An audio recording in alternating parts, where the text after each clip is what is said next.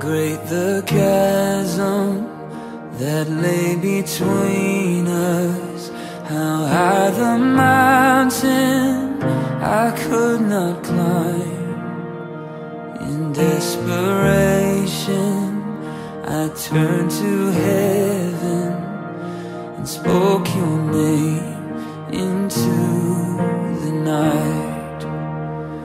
Then through the darkness Your loving kindness Tore through the shadows of my soul The work is finished The end is written Jesus Christ, my living hope.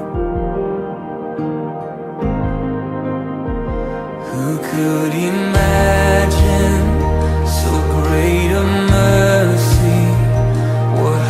could fathom such boundless grace?